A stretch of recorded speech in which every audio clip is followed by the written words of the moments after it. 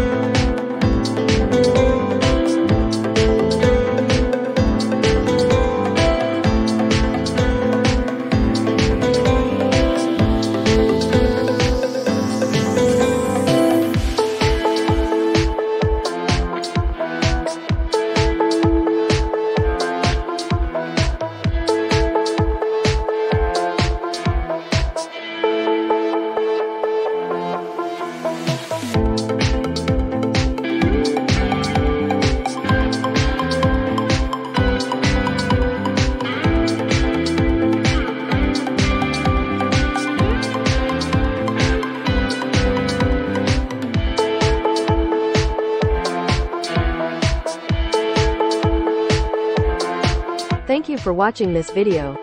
If you like this video, to see other tutorials, please subscribe and don't forget to like and comment. Thank you.